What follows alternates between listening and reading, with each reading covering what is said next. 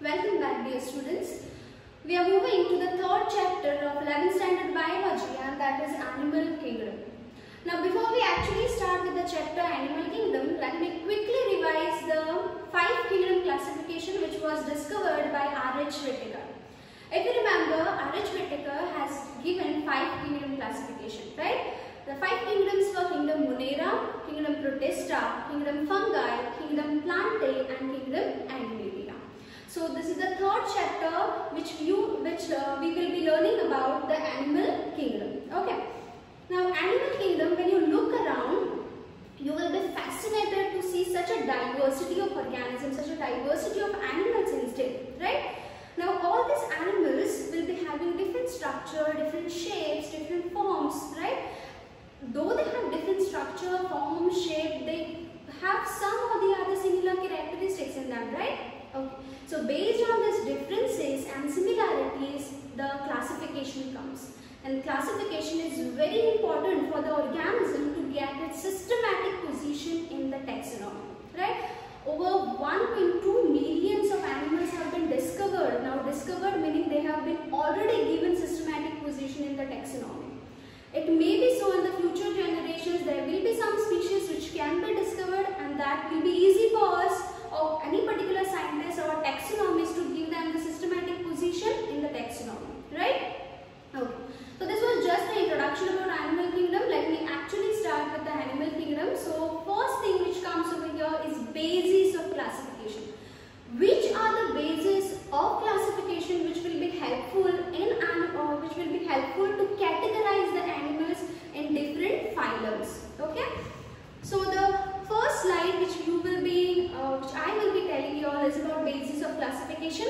I was telling you all that there are some bases for classification like arrangement of cells, body symmetry or symmetry of the organism, nature of coelom, patterns of digestive, circulatory and reproductive system. Okay.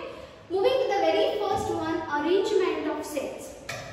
We all know that organisms, uh, all the animals are multicellular. There won't be any animal which will be having single cell. Okay. So all the animals starting from the lower uh, phylum to the higher, higher one, all the organisms will be having many cells. So we say they are multicellular organisms, right? Okay. Now though all organisms are multi, uh, all animals are multicellular, they don't have similar pattern of organization. Okay. There are different pattern of organization and they are, see here, cellular level of organization, tissue level of organization, organ level and uh, at the most hierarchy level is organ system level of organization. Okay. Now moving to the first one, cellular level. Now what is cellular level? If I am talking here, take this cellular level. Now cellular meaning the organism, in this particular organism, the cells will be loosely arranged and this group of cells or loosely arranged cell itself is an organism. Got it? So here there are no tissues, no organs, only group of cells are together forming an individual. Okay? So these organisms will be called as cellular. These organisms will be having cellular level of organization. Meaning what? Now if we take example of human beings, we have different tissues, cells, organs and all the functions are, do, uh, are done by these cells, tissues and organs, right? We have organ system level of organization also, so digestive system, reproductive system, all the necessary functions which in our body organs are doing, whereas in some organisms wherein there are only cells, all the functions will be done by these cells. Got it? So cells itself, the group of cells itself will be making one organism. So all the functions, necessary functions, respiration, digestion, all the processes will be conducted by these cells only. So that's why they are these particular organisms are having cellular level of organization. Now which are the examples? Lower hierarchy. If we talk about phylum Porifera, okay, phylum Porifera is having the cellular level of organization. Okay, moving to the next one. See, I told you sponges. Most of the sponges are showing this cellular level of organization. Next is tissue level of organization. Now, what is tissue?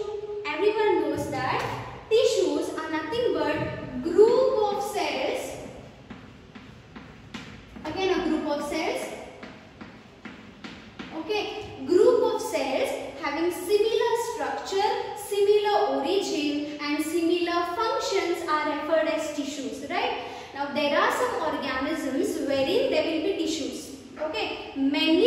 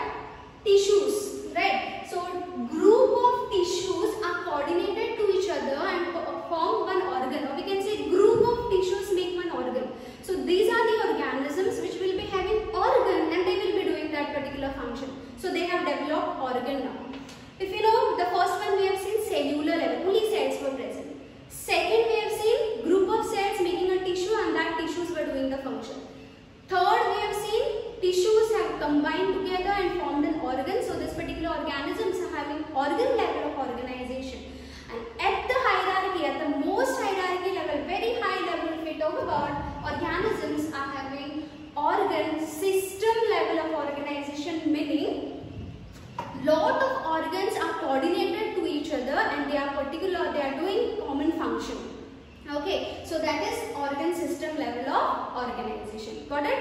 Now, though organism, for example, now um, organisms belonging, okay, organ level of organization, organisms like platyhelminthes, they have developed some organs, okay. Moving to hierarchy level, platyhelminthes, some annelids, you can say, mollusca, arthropoda, echinodermata have developed some organ level of organization. Okay, organ system also annelids are having organ system level, so hierarchy level, okay, all these organisms will be having organ system level. Now if we talk about organ system, let me take, tell you example of digestive system and circulatory system. Okay. Now digestive system can be of also of different type based on the different organisms. Okay. Now there are some organisms which may show incomplete type of digestive system. Okay. Now what is incomplete type of digestive system? You can see the picture here. See here.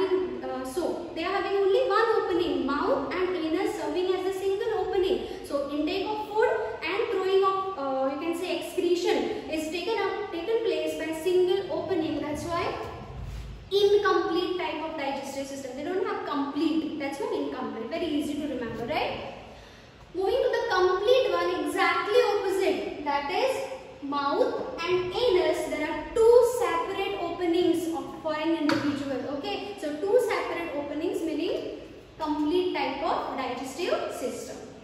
Got it? So in organ system level also there are some patterns of differentiation we can say or complexities we can say, right?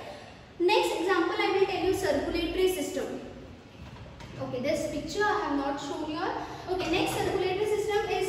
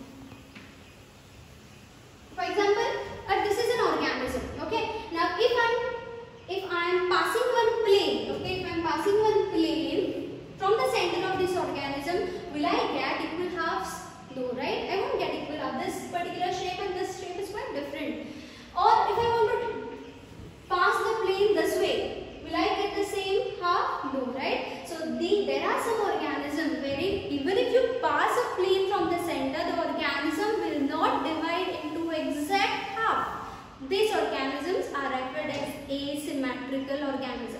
Now which are the examples? most of the sponges, okay, or you can say porifera, organisms belonging to phylum porifera are showing asymmetrical pattern or asymmetry. They are not showing particular symmetry. They don't have perfect equal halves when the any plane is passing from them. Now there are two more types of, okay, symmetry meaning I told you equal halves. Now there are two types of symmetrical organisms we can say. First one is radial symmetry and next is bilateral. You can see radial symmetry and bilateral symmetry. Now what is radial and bilateral? First and very easy to remember bi. Always I am telling you bi meaning two. Okay. So here I tell you first bilateral symmetry. Okay. For example, if this is an individual, okay, and I am passing one plane from the center, if I am cutting a organism in exactly a center, I will be getting right and left half similar. Okay, this half and this half I will get similar.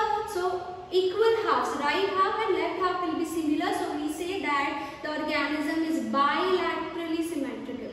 Okay, you can see the picture here also. Okay, this particular organism, a shrimp, okay, exactly can be cut out from the uh, plane is passing from the center. Left half and right half can be similar. Even if I am cutting, passing a plane like this. If I am taking example of human being. If I am passing a plane from my center, the half, right half and left half will be exactly similar. That's why it is bilateral symmetry. Okay. Moving to radial. Okay. If I am taking a ball example. If I am passing a plane from the center, I will get equal. If I am passing, if I am passing the plane this way, I will get equal halves. Okay, a typical example is shown here of sponges or Coelenterata. Sponges is asymmetrical.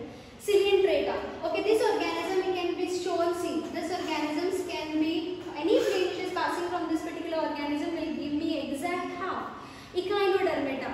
Okay, lot of examples. Coelenterata you can say. Then Ctenophora then uh, echinodermata, all these organisms are showing radial type of symmetry.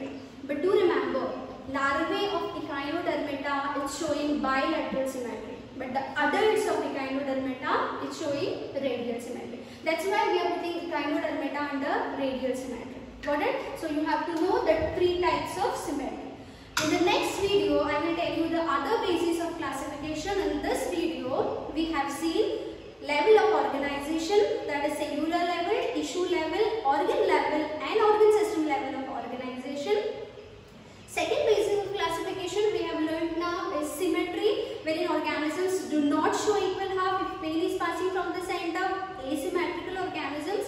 And the organisms which have symmetry can be categorized into two ways radial symmetry and bilateral symmetry. We have seen this also. In the next video we will see the further basis for classification. Thank you everyone.